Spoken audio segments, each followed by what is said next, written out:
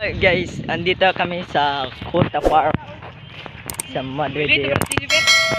Pilih tu. Hello guys, ari ako sa Kota Park sa Madre de Dios. Kanindot kayo sa Angon Kota Park.